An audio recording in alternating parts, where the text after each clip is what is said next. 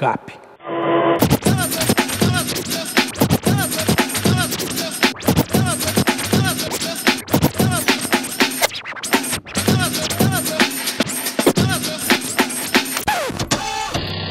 É difícil dizer exatamente quando surgiu o primeiro DJ. Antigamente não tinha performance, tinha discotecagem. Anos 60, 50, sei lá. Graças a esses caras a gente está aí hoje. O cara que inventou um gramofone, uma coisa nunca imaginou que ia virar isso, né?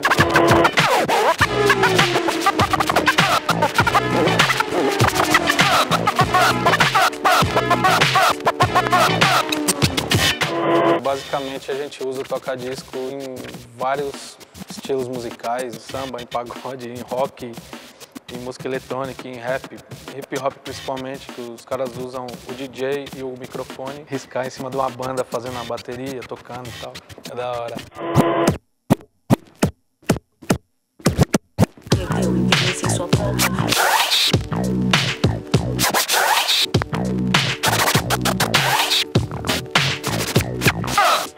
Você pode fazer várias coisas, ó. Tem um instrumental. Gangsta. Isso aqui é, é o scratch, né, que a gente chama.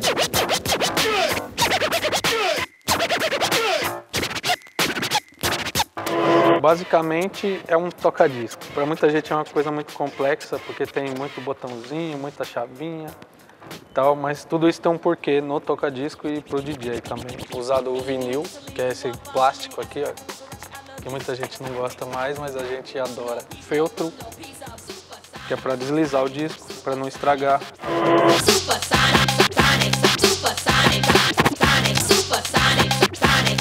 Basicamente a afinação de qualquer uma dessas, de qualquer modelo, está na torre. Isso aqui é um anti-skate, é para ele não derrapar. Né? Se ele estiver jogando o braço para fora, por exemplo, está pulando muito, você regula aqui, jogar mais para dentro, jogar mais para fora. É uma regulagem fina. Então esse é o shell do toca-disco. Então essa parte inteira ela sai, essa agulha sai. Essa é a agulha do toca-disco. Tem vários modelos, a minha é a Concorde, né? O modelo Concorde.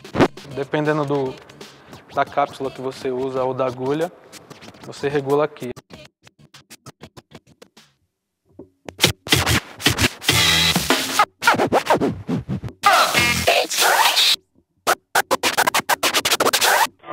Esse aqui é o pitch do toca-disco, é o que aumenta e diminui a velocidade do disco.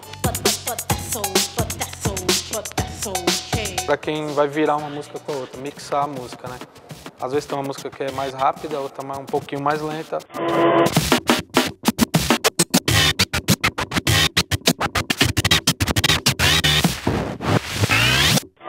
Aqui é a luzinha, né? À noite você não vê nada, dependendo do salão que você for tocar, do baile. Basicamente para você achar a faixa, né?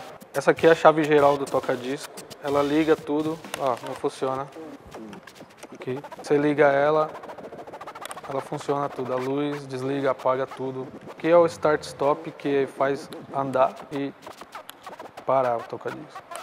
Chave geral, stop start, funcionou. A maioria dos discos são é a rotação 33, que é essa rotação que está aqui, é normal. A gente usa muito performance também para acelerar mais, mas basicamente para ouvir a música normal na rotação 33 e 45. Aqui é o mixer, né? Uns tem coisas que esse não tem, esse não tem coisas que vários têm. Esse aqui é o ganho do mixer, que é para você equalizar a música, mais agudo, menos agudo, grave. Essa sequência de botões é para esse toca-disco e essa sequência é para esse lado. Ganho, agudo, grave e balanço. Aqui é o VU do toca-disco, né? Você vê que a música tá batendo. Que é uma chave line, né? CD ou qualquer coisa line, né? Que for em linha. No meio é o fono, que é o famoso vinil, toca-disco. Aqui é a régua, o potenciômetro, o volume, pode chamar do que quiser. E aqui você regula o volume da sua mixagem, do efeito que você estiver soltando. E esse seria o fader. Pra cá, toca esse. Pra cá, toca esse. Ó, cortei pra lá, cortei pra cá. No meio ele toca os dois. Fica mal baralhado.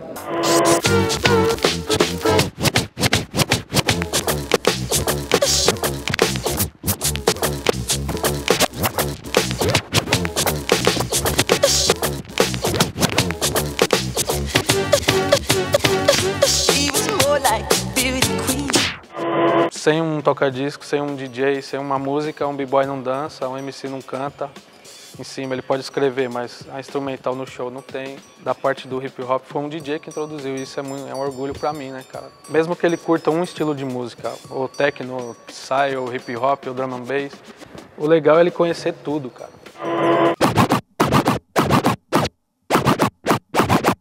Seja bem-vindo ao novo clube, o passado esqueça, Aqui ser o melhor é o que interessa. Quando eu toco, eu sinto que eu tô em outra atmosfera, assim, uma coisa mais forte que eu. Eu ouço alguém tocar, já dá vontade, sabe? Aquele viciado. Mas é uma droga do bem, né? O bagulho é legal. Enquanto eu não consigo tirar o que eu quero, eu não vou dormir, cara. Por exemplo, quebra uma agulha, você tá sem dinheiro, você fica louco, mas você rola um, uma instrumental, algum som no computador em algum lugar e pega o vinil, só que tá funcionando e começa a brincar. Você não consegue parar, é mais forte, é, corre na veia.